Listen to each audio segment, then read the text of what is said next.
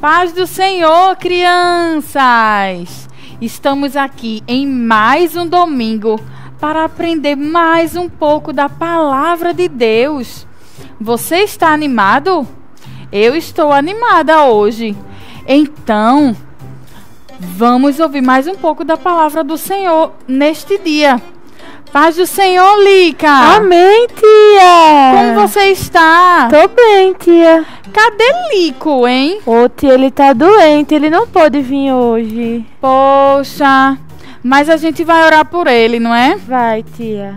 Vamos orar para iniciar a nossa aula? Vamos todo mundo fechar o nosso olhinho para falar com o Papai do Céu. Senhor Jesus, muito obrigado por mais uma semana. Senhor, cuida de Lico, Senhor. Restaure a saúde dele, para que no próximo domingo ele esteja aqui conosco, Senhor. Nos ajuda, que possamos aprender mais um pouquinho da tua palavra hoje e que possamos colocar em prática tudo o que aprendermos. Fica conosco nesta manhã Amém. Amém. Vamos louvar? É tão pequenininho, Mas cabe dentro dele um Deus grandão. meu coração. É tão pequenininho, mas cabe dentro dele um Deus grandão.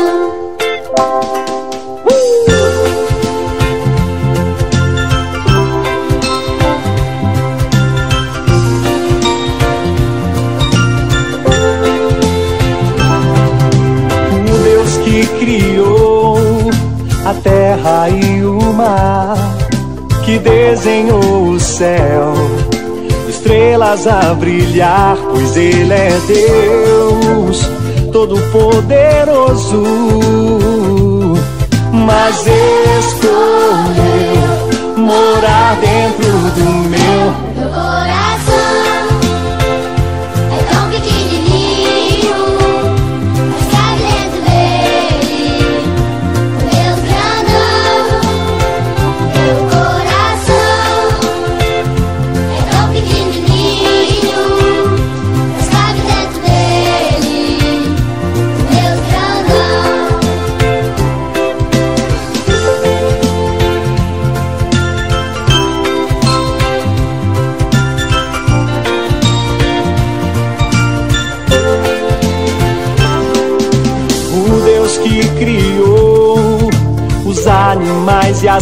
plantas, os rios e as montanhas, apenas com sua voz, pois Ele é Deus Todo-Poderoso,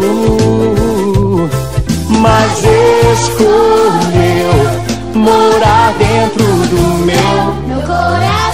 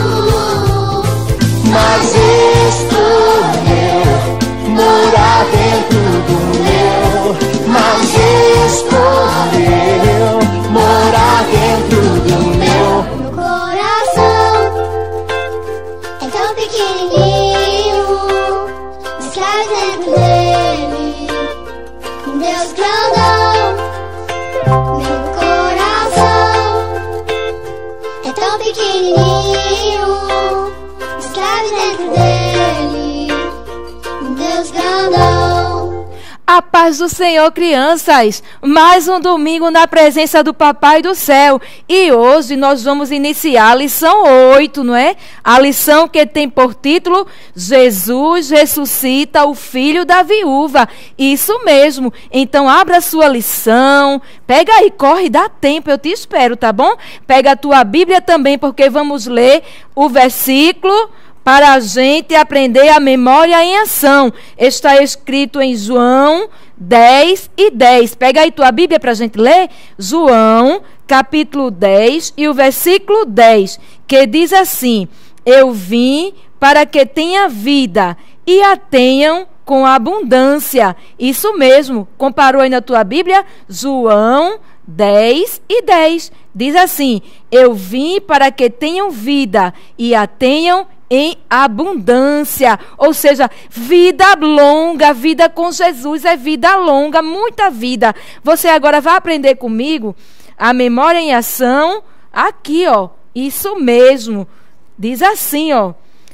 Eu vim para que as ovelhas tenham vida, vida completa. João 10 e 10. Isso mesmo. Vamos repetir comigo? Os meninos e as meninas todos juntos. Eu vim para que as ovelhas tenham vida e tenha vida completa. João 10 e 10. Você é ovelhinha de Jesus? É? Pronto, muito bem. A ovelhinha de Jesus é amparada por Ele. Ele cuida de você. Olha, Ele se preocupa com teu alimento, com tuas vestes, com teu calçado, com tua saúde também. Isso mesmo. Papai do céu se preocupa com você porque você é uma ovelhinha dele. Ele cuida nos mínimos detalhes da sua vidinha. Então não te preocupa não, tá certo? Porque ele veio para dar vida a você, ainda que você fique dodói. É isso mesmo. Se você ficar dodói, ele vai vir com aquele óleo dele, olha, e vai colocar nas suas feridas, no seu dodói, e você vai ficar saradinho. Então nunca se esqueça que em João, capítulo 10 e versículo 10, Jesus fala para mim e para você: Eu vim para que as ovelhinhas tenham vida, vida completa. Isso mesmo. Então guarde aí no seu coração. Você é uma ovelhinha de Jesus e ele tem cuidado de você. Amém, crianças. Mas agora a gente vai começar a nossa história. Isso mesmo. A Bíblia nos conta uma história muito linda, que Jesus ele fazia muitos milagres. Por isso está aqui, ó, a capa da lição de vocês desse trimestre. Ele fala que é conhecendo os milagres de Jesus. Isso mesmo. Então, hoje é a oitava lição. E você já viu vários milagres que Jesus operou, não é? E hoje você vai aprender mais um versículo, mais uma história, onde Jesus operou um milagre. Ei, e este milagre foi o primeiro milagre de ressurreição que eu vou contar para vocês agora. Jesus ele gostava de andar com os discípulos, isso mesmo. Ele gostava de caminhar com os discípulos, pregando a palavra, ensinando sua palavra. Isso, Jesus ele amava pregar a palavra, curar os enfermos, fazer milagres e por isso a multidão gostava de se aproximar de Jesus, porque sabia que onde Jesus estava, alguma coisa sempre acontecia. Isso mesmo, ei, Jesus está dentro da tua casa, vai acontecer coisas milagres, coisas lindas na vida da sua família. Isso mesmo, Jesus está com você na sua rua. Convide Jesus para estar com você, porque aonde Jesus chega, há fartura de alegria. Tudo que é tristeza vai embora, porque Jesus, ele faz coisas lindas e deixa a gente com o coração feliz. Isso mesmo. Então a multidão aqui eles costumavam andar com Jesus, eles costumavam a fazer é, companhia a Jesus, porque onde Jesus chegava, as pessoas se aproximavam de Jesus para ouvir ele falar e contemplar os milagres que ele fazia. Mas quando Jesus estava saindo de um certo lugar, ele ia para a cidade de Naim. Isso mesmo. Quando ele foi chegando na cidade de Naim com seus discípulos, olha, quando ele foi aproximando da cidade de Naim, ele escutou um choro. Alguém chorava. Quem era que chorava? Ah, tinha uma mulher que chorava tanto, ela estava triste. Isso mesmo.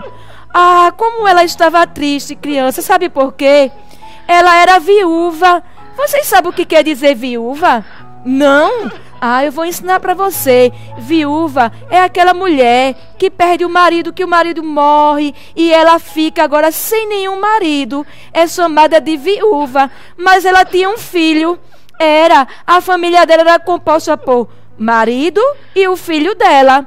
E aí o marido dela morreu. E a viúva agora só tinha um filho. Mas crianças, vocês não sabem o que aconteceu.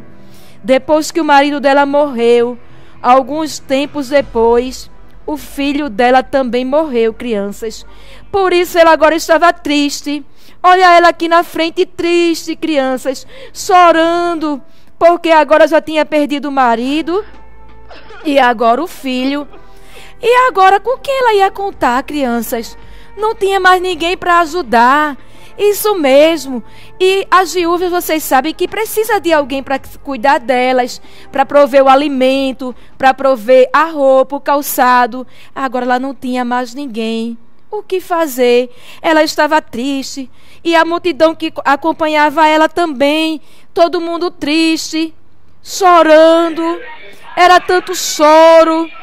Mas Jesus, quando foi entrando na cidade de Naim, se aproximou daquele povo que estava ali triste e olhou e viu, crianças, que era um funeral que estava acontecendo. Era o filho desta viúva que tinha morrido. Ela agora estava tão triste. Ela agora não tinha mais esperança. Ela agora não tinha mais ninguém para conversar com ela na casa dela. E agora Jesus viu e teve muita compaixão daquela mulher. Jesus é milagroso, Jesus é maravilhoso. Jesus ele não fica feliz quando vê uma pessoa chorando. Isso mesmo. Aí Jesus olhou e percebeu que ali era um enterro que estava passando. Antigamente, crianças, quando uma multidão se encontrava com um enterro, eles eram obrigados a participar daquela, daquele caminho até o cemitério. Era como se fosse uma honra para aquela família que estava em luto. E Jesus não fez diferente. Jesus poderia ter seguido embora o caminho dele, mas algo tinha chamado a atenção dele. Não se preocupe que Jesus também está olhando para você. Algo que você está passando também está chamando a atenção de Jesus. Ele se preocupa com você porque você é a ovelhinha dele. Isso mesmo.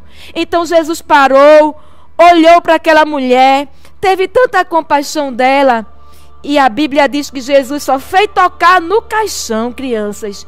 E disse para aquele jovem que estava ali: Menino, levanta e anda. Ah, crianças, vocês não sabem o que aconteceu. Olha o que aconteceu. O menino levantou, crianças para a glória de Jesus. Isso mesmo. Ele agora estava vivo e a multidão se alegrava e a multidão glorificava e a multidão dizia glória, glória, glória, porque agora encontramos um profeta aqui neste lugar. Esse é um Deus milagroso, um Deus que faz milagres, um Deus que ressuscitou o filho da viúva. Aleluia, crianças. Deus, ele faz muito mais que isso. Aleluia, porque ele não se alegra com a nossa tristeza. Ele fica muito triste. Ele quer preencher também o teu coraçãozinho. Se o seu coraçãozinho está triste, não se preocupe. Ele é a nossa alegria. Ele é a nossa força, crianças. Então é só tu chamar Jesus, porque aonde Jesus chega, aleluia, a fartura de alegria. E aquela família que estava em luto agora estava feliz. Olha só, quanta alegria agora aquele povo estava sentindo. Isso mesmo, porque Jesus, ele chegou e fez a diferença. E neste dia de domingo maravilhoso, Jesus também quer te fazer feliz, quer te fazer uma criança sorridente, feliz, tirar a tua tristeza, a tua angústia, porque Ele faz. coisas maravilhosas na minha e na tua vida. Então, se você está triste, chame Jesus. Se você está com a sua família que teve algum probleminha que deixou você angustiado, chame Jesus. Ele é a nossa alegria e Ele é quem cuida de você, porque você é ovelhinha dele. João 10 e 10. Ele já falou para você nesta manhã que Ele dá vida e muita vida, vida com abundância. Amém, crianças? Então, eu vou agora orar com você tá certo? Pedir ao Papai do Céu por sua família, pedir ao Papai do Céu pelos seus amiguinhos, para que ele continue cuidando de nós. Olha, vamos fechar os olhinhos bem rapidinho. Papai do Céu, aqui estamos na tua presença. Te pedimos a tua bênção, a tua misericórdia e te agradecemos porque tu és o Deus que faz milagres. Aquilo que é impossível aos meus olhos, aos olhos das criancinhas que estão nos assistindo. Ah, Senhor, tu és muito poderoso, muito grande. Ah, Deus, aquilo que a gente não consegue fazer, nem falar, o Senhor faz por nós. O Senhor fala por nós. Muito obrigado pelos teus milagres. E nós continuamos crendo que tu faz grandes coisas nas nossas vidas. Amém, crianças? Olha, próximo domingo tem mais, mas não acabou. Eu vou convidar a nossa amiguinha Lica e ela vai cantar um louvorzinho conosco. Então canta com Lica também, tá bom? Vamos adorar o Papai do Céu e vamos dizer que ele é maravilhoso. Isso mesmo.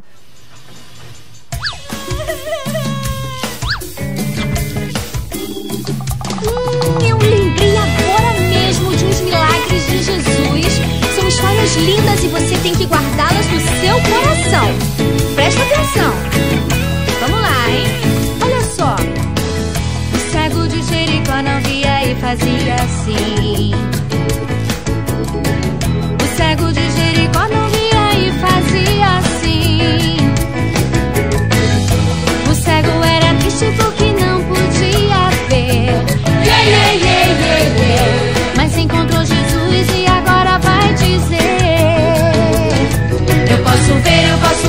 paso